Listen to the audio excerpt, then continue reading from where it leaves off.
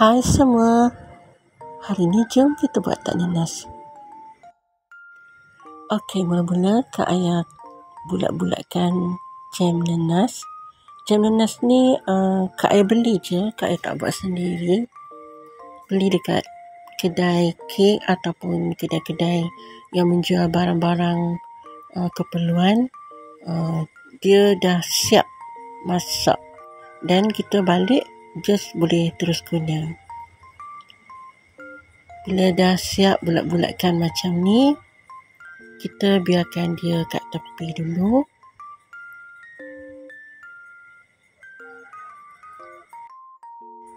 Sekarang kita akan mula tapis semua jenis tepung yang kita nak guna.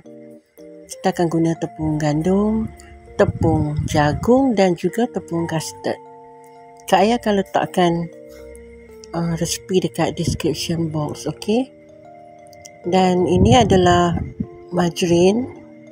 Tambahkan dengan gula icing atau gula halus. Lepas tu kita masukkan sebutir telur kuning dan satu sudu teh esen vanila. Kita akan satukan semua ni kita cuma kacau supaya dia bersatu saja. Kita jangan sampai dia kembang, okey?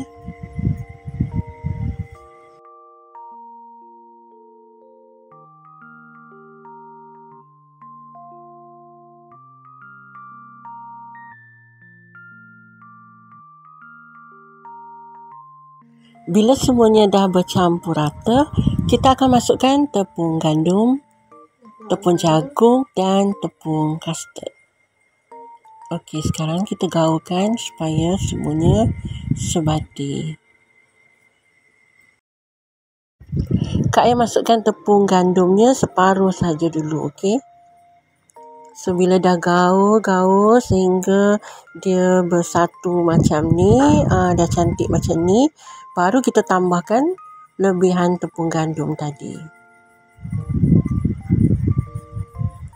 Kemudian kita kacau lagi sehingga semuanya bersatu.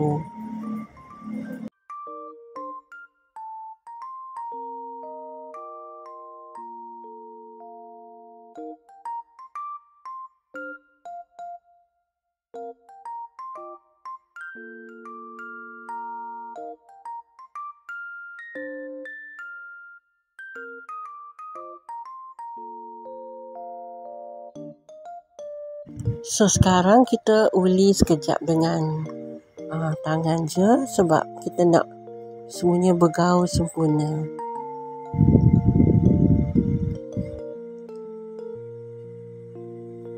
Bila dah sempurna macam ni, okey kita bolehlah uh, mula jadikan dia doh yang bulat macam ni dan kemudian boleh kita ambil sikit uh, untuk cek adakah dia sesuai untuk dibentuk.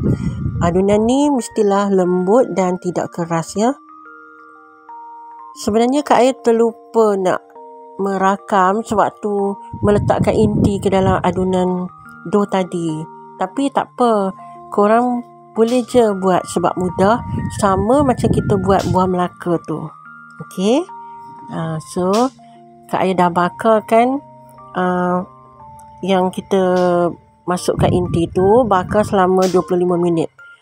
Selepas tu angkat dan kita sejukkan. Sekarang gunakan telur kuning dan tambahkan pewarna merah. Kak Ayah juga campur sikit telur putih.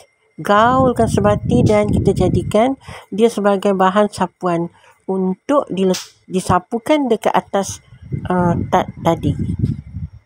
Uh, tapi Kak Ayah gunakan brus ni besar sangat. So kalau nak lebih cantik sapuan telur ni, kuning telur ni, korang kena pakai brus yang lembut. Dan brus tu kecil, okey? Hmm. Bila kita dah siap sapu semua, sapuan telur ni dekat uh, tak nanas kita, nanti kita bolehlah bakar kita bakar selama 10 minit. Sebab tadi kita dah bakar separuh, okey? Dan sekarang kita sedang bakar supaya kuning telur tadi uh, cantik. Okey, sekarang dah siap.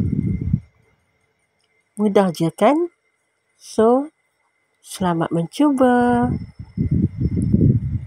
Semoga korang mencuba dan buat untuk jamuan hari raya nanti.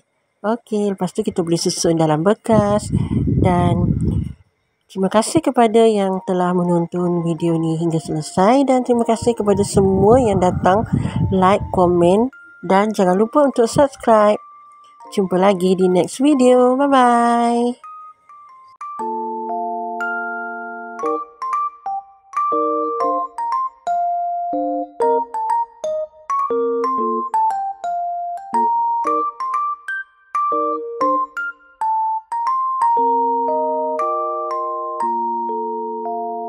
You.